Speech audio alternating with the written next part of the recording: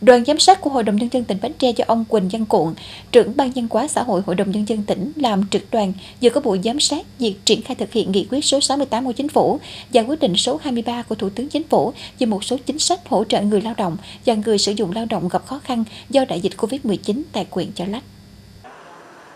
Theo báo cáo của Quỹ ban Nhân dân quyện Chợ Lách, đến nay quyện đã phê duyệt danh sách hỗ trợ cho 5.984 người với tổng kinh phí 164 tỷ 971 triệu đồng. Tuy nhiên, quyện chỉ mới cấp phát cho 1.222 lao động thuộc 2 trên 12 nhóm là chính sách giảm mức đóng bảo hiểm tai nạn lao động, bệnh nghề nghiệp và nhóm chính sách hỗ trợ người lao động tạm quản hợp đồng lao động, nghỉ việc không hưởng lương với số tiền 150 tỷ 653 triệu đồng.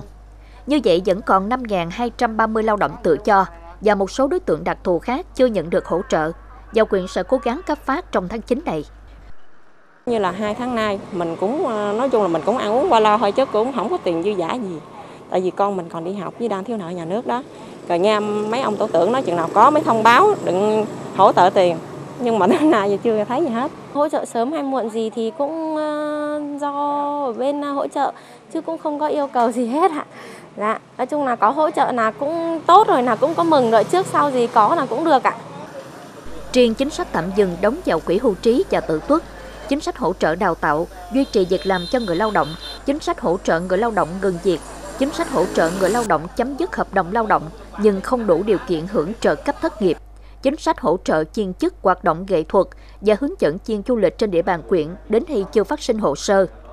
Ủy ban nhân dân huyện Chợ Lách cho biết, nguyên nhân chậm trễ chi hỗ trợ cho người dân trong thực hiện quyết định số 25 của Ủy ban nhân dân tỉnh Bến Tre là do tình hình dịch bệnh diễn biến phức tạp, việc thực hiện giãn cách xã hội. Lãnh đạo các cấp tập trung cho công tác phòng chống dịch. Các xã thị trấn còn lúng túng do hướng dẫn thực hiện một số nội dung quyết định số 25 của Ủy ban nhân dân tỉnh chưa rõ ràng.